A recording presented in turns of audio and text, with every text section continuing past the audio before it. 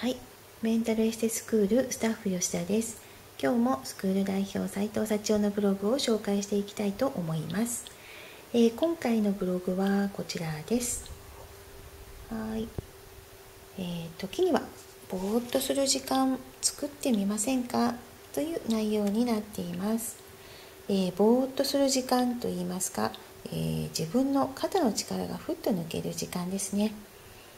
えー、これはですね私このぼーっとする時間大好きなんですけども、えー、うっかりすると単純に気が緩んだ時間になってしまう可能性があるのでそこだけは気をつけないといけないなと思っています、えー、こういった時間をうまく使って自分のエネルギーを充電していけるといいんじゃないかなと思います、えよかったらブログをお読みください。